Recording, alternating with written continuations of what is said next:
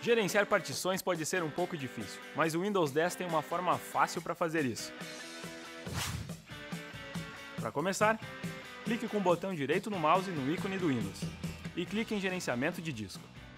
Nessa janela, você verá dois painéis. O de cima mostra uma lista de partições listada em volume. Há também informações adicionais, como a capacidade e espaço disponível. No painel abaixo, você pode ver o espaço do seu disco físico com detalhes e onde as partições estão localizadas.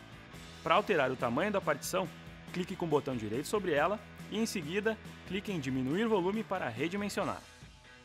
Neste menu, há também outras opções para manipular o seu disco.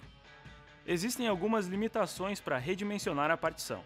Você só pode encolher seu tamanho se você tem espaço livre suficiente, ou seja, espaço sem dados. E você só pode aumentar se houver espaço não alocado suficiente no mesmo disco rígido. Espaço não alocado é mostrado à direita de uma partição. É um espaço livre que você pode usar para aumentar qualquer outra partição existente. Se seu disco rígido tem espaço livre, então você pode usar este espaço para criar uma nova partição.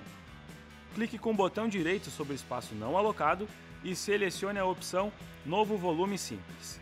Agora, você tem que seguir os passos apresentados para criar a nova partição. Configure o tamanho, uma letra para identificar o novo disco no Windows e no volume, e finalmente o disco será formatado. Na maioria dos casos, você pode usar a configuração padrão. A exclusão de uma partição é simples. Você apenas precisa clicar com o botão direito na partição e selecionar Excluir volume. Mas atenção aqui, todos os dados dela serão apagados. Para alterar o tipo de letra, clique com o botão direito sobre a partição e selecione a opção Alterar letra de unidade e caminho. Ficou com alguma dúvida? Deixe seu comentário. Conte com a gente. Conte com o Dell Suporte Brasil.